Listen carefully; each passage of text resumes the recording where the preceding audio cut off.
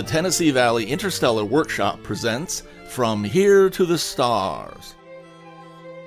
It's, it's the Star Trek question, right? It's, mm-hmm. it's the prime directive, um, and I, I think people who uh, who have an ethical problem with this don't uh, have a true appreciation of scale.